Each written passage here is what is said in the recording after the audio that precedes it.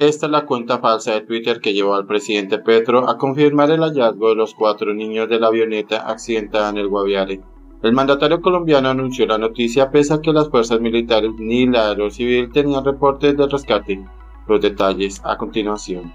El paradero de los cuatro menores indígenas que desaparecieron tras el accidente de la avioneta en la que viajaban en el departamento de Caquetá continúa siendo incierto pese a que el presidente Gustavo Petro había anunciado que los pequeños fueron hallados con vida, horas más tarde indicaría que dicha versión no había sido confirmada.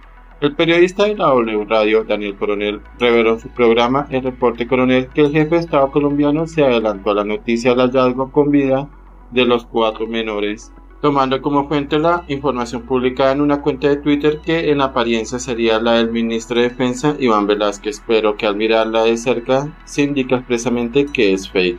El trino falso de la cuenta arroba Defensa anunciaba que los pequeños habían sido hallados con vida, a la vez que era acompañado de una bandera de Colombia.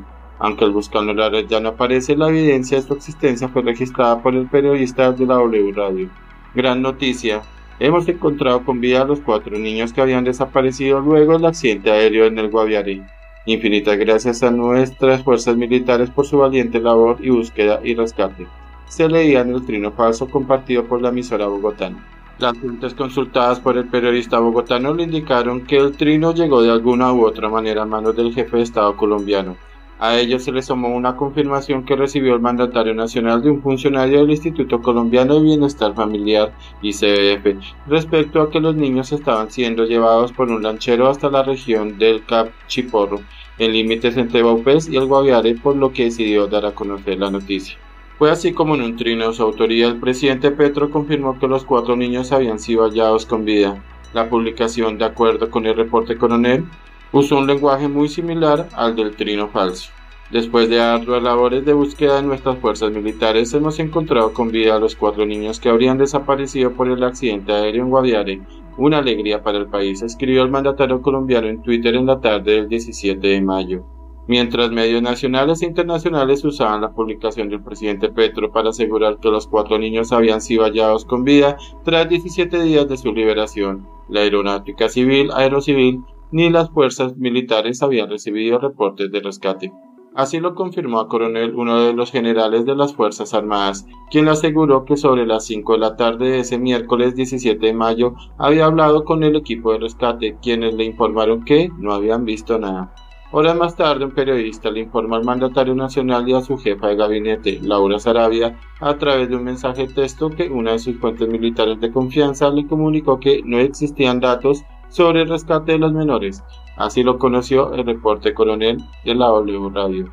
Ante la falta de claridad y confirmación del rescate, las familias de los ocupantes de la avioneta emitieron un comunicado rechazando la desinformación y manejo mediático que se le ha dado a la búsqueda de nuestros familiares.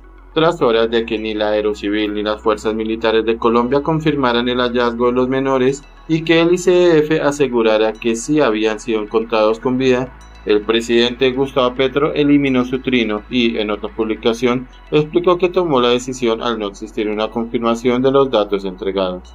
He decidido borrar el trino debido a que la información entregada por el ICF no ha podido ser confirmada. Lamento lo sucedido.